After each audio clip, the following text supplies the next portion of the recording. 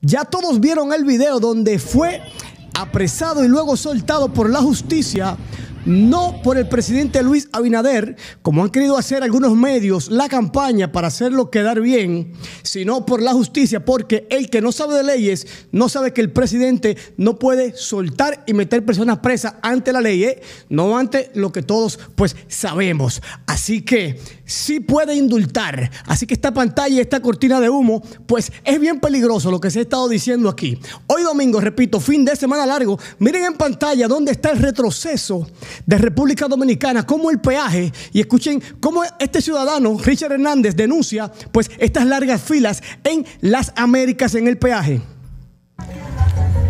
Señores, miren, lo increíble.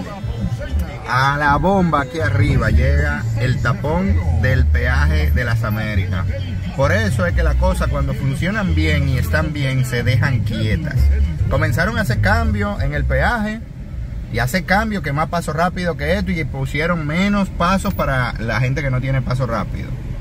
Y con la cultura del dominicano ustedes entenderán, ahora ni pasan rápido los que tienen paso rápido, ni pasan como antes pasábamos de forma normal lo que antes pasábamos pagando el peaje. Ahí vieron cómo él está denunciando lo que es largas colas, lo que antes pues estaba funcionando, ahora no funciona como todas las dependencias de República Dominicana. Y miren en pantalla cómo Nuria está hablando de Yailin, la más viral y de Tecachi.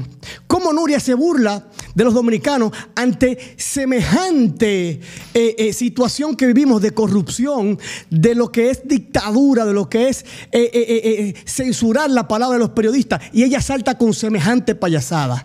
Qué virado te acabas de anotar, Nuria. Pero el pueblo, prepárense porque vamos a salir a la calle a protestar contra esta dictadura silente, pues que nos van a imponer, que ya comenzó a imponerse en República Dominicana, como tantas veces Hansel la Antigua lo ha denunciado aquí. Feliz fin de semana, hoy domingo, disfruten y mañana estamos en el aire con todos ustedes otra vez.